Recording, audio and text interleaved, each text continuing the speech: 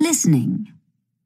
In this section of the test, you will hear conversations and answer some questions about them.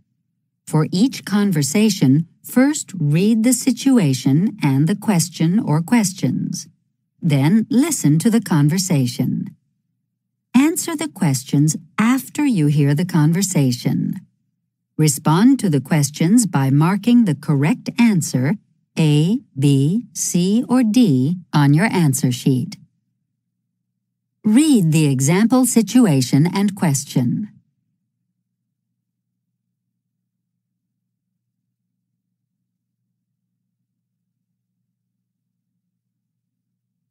Now listen to the example conversation.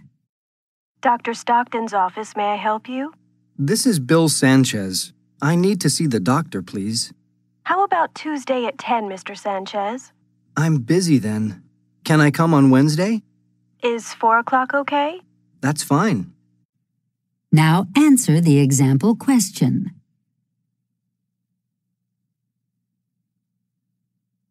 The answer for the example is D, Wednesday at 4 o'clock.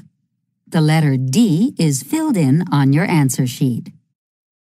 Now go on to page 3.